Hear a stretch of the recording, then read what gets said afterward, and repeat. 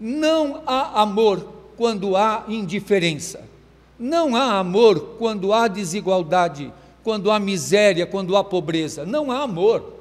Não pode uns terem demais enquanto outros não têm nada. Aí diz: ah, mas isso aí alguém vai pondo lá, ah, é TL, ah, isso aí é palanque político. Não, isso aqui é altar. Altar onde o pão é partilhado. Isso aqui é altar onde a palavra de Deus nos chama a atenção. Isso aqui é altar onde o pão que é colocado aqui se transforma no corpo de Cristo para todos, para alimentar a todos.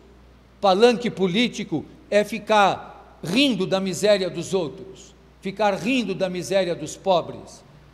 O amor é a força que te faz ir ao encontro do irmão e da irmã, não porque ele merece, mas porque ele necessita.